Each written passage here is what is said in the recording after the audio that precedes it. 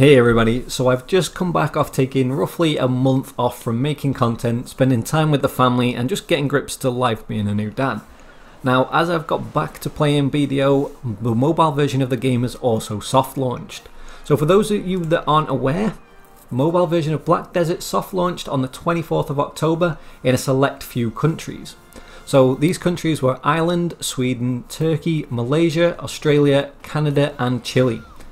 And amongst this, the game is also currently only available on Android. So the iOS version of the game will be coming with the global launch, and there still isn't a date for that, but that will be launching alongside the rest of the countries um, for the Western release. Now, you can download the APK for the game if you want to play it now, and you can use a VPN that will allow you to change your country of origin on your phone basically temporarily while you're playing to one of those countries mentioned, and that will allow you to get access to the game. Now, it is worth noting that as far as we're aware, people that do this won't have a huge advantage over those that are new to the game.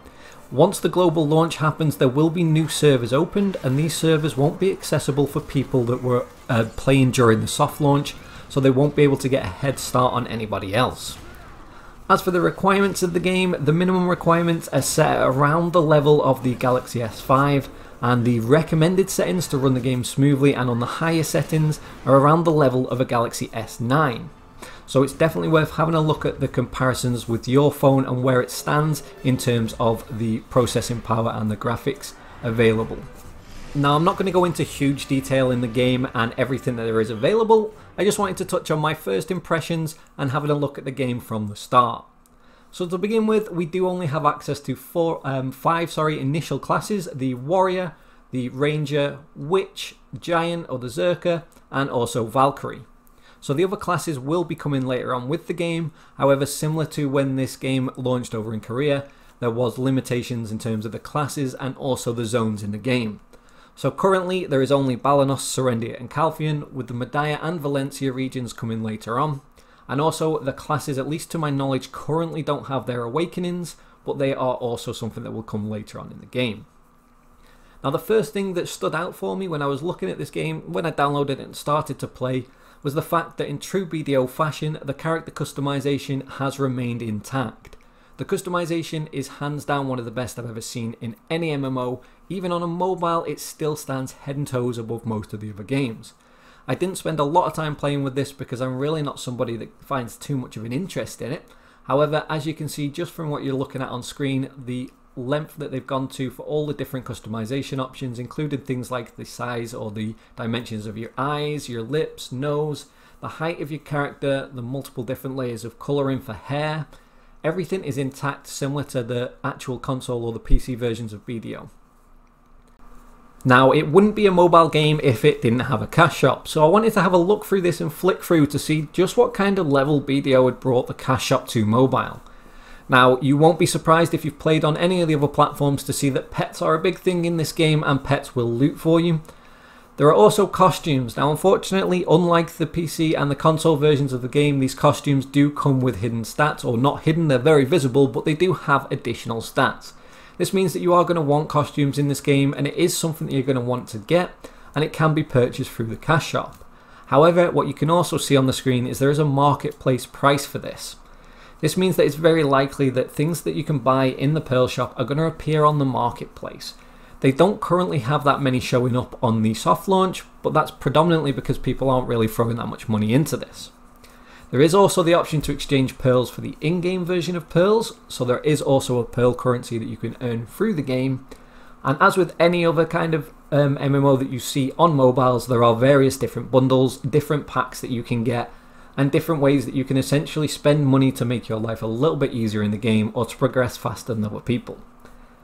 This will be considered pay to win, and it undeniably is. However, if you're somebody that can restrain yourself and isn't really bothered about spending on a game and can appreciate the multiple layers that this game brings to the table, it might not be a turn off for you, or at least not as much as it may seem to start with.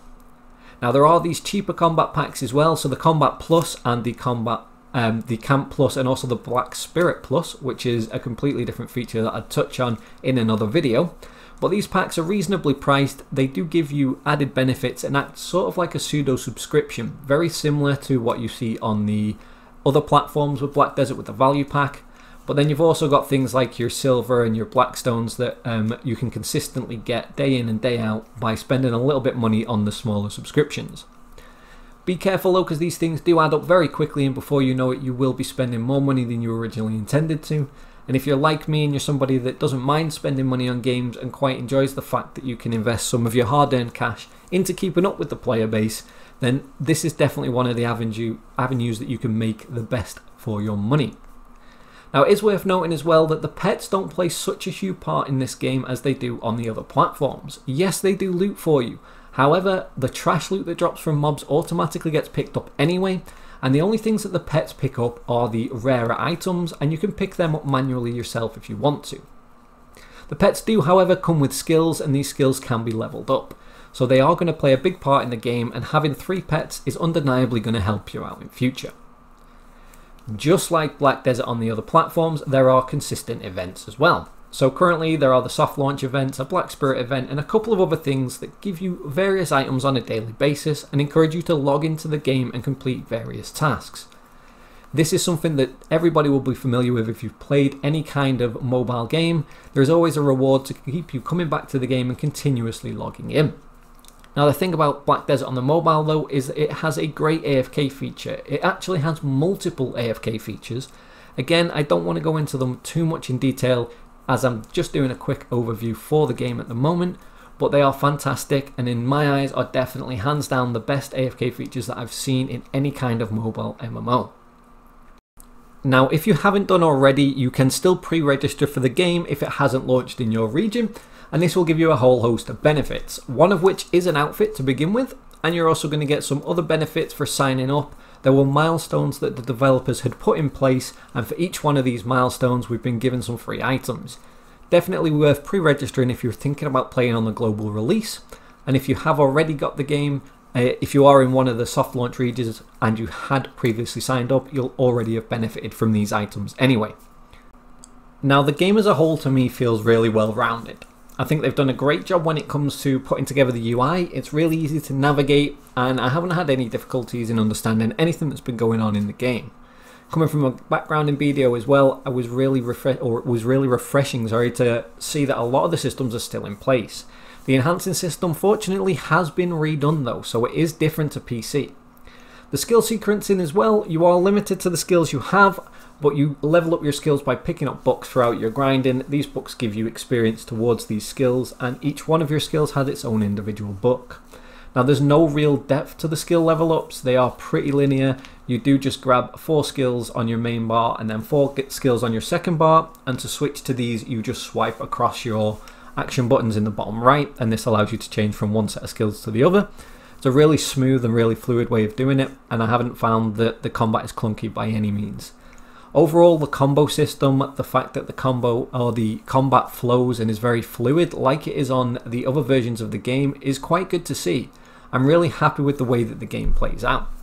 Now, there is an auto feature that allows you to essentially set your character up to automatically grind mobs, and there are various ways you can do this AFK. There is also a tray option that allows you to minimize the game into a low power mode, and also a way that you can completely turn the game off and still AFK grind or AFK gather, even AFK fish for up to three hours without paying, where you can essentially just completely close the game down and it will go about its business. You can log into your items and also to the experience that you've gained.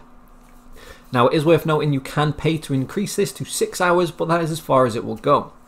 You can leave, as I said, the game in a low power mode. This will allow you to check back regularly to either finish repeatable quests or to check where you're up to, use some extra buffs or anything like that if you want to.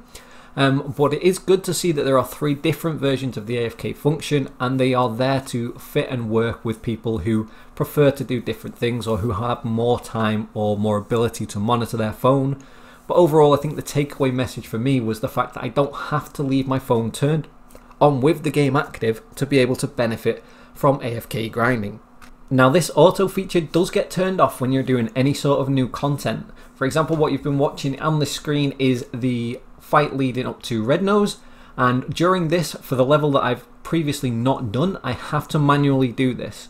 Once I've done this, I can go back and redo this with an auto feature enabled. However, it is good to see that the automatic feature isn't just a way for you to play this game without ever actually playing it.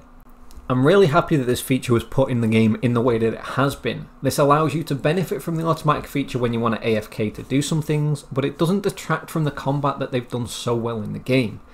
It means that people are going to have to play this game through its entirety. You're going to have to learn the combat, you're going to have to learn the combos to really benefit from getting through the higher tiers of the stages.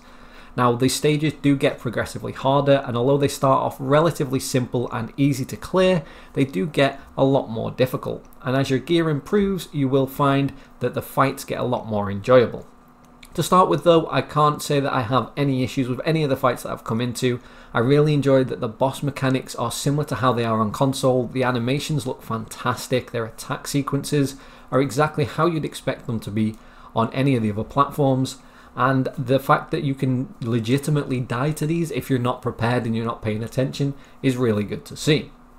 And a lot of the other systems transfer across to the game just as equally well. There are some other things to note that I will be going over in other videos.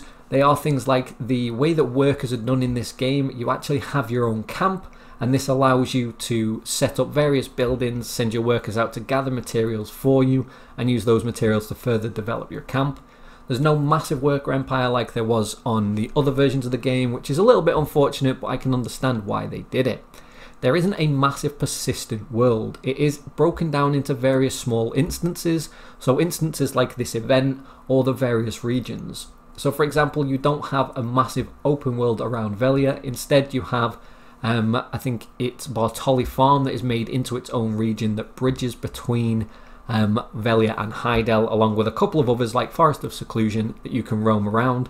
But it is basically broken down into smaller little instant zones and those instant zones, though, there are other people, so they are persistent. Where other people on the server, you will run into them. You will be able to PvP once you hit level 40 and can flag as a bandit, essentially. Um, so, although there isn't the massive scale of the open world, it does feel very vast. There are a lot of zones. There are definitely a lot of people around. Even during the soft launch, I haven't had any sort of real time where I've not ran into other people. So it's definitely feels grand, it feels like a big game, and it feels really enjoyable. Now, I don't want this video to drag on any longer than it already has. I just wanted to give a brief overview of some of the main things, my take home messages from the game, and what I feel after my first 24 hours of playing it. Overall, I'm a really big fan of BDO on mobile. I think it transfers across incredibly well. The graphics are fantastic, and just looking at this event sequence leading up to this boss fight is absolutely amazing. I haven't come across a mobile game that I feel is really sort of free to play friendly, but BDO I feel may have nailed it with the cash shop. I am waiting to see how this plays out when more things are put on the marketplace and also with a little bit more playtime to fully understand just how much the cash shop plays into this game. But at the moment, I'm enjoying the game for what it is. I'm having a real blast playing it and I'm hopefully going to continue to do so moving forwards. I will be starting completely over again once the soft launch um, period has ended. We go into global launch and I can play it without a VPN. I will be playing on my server with people from Exile as well. A lot of people in the guild are going to be joining me on the game and we're just going to be having a laugh together.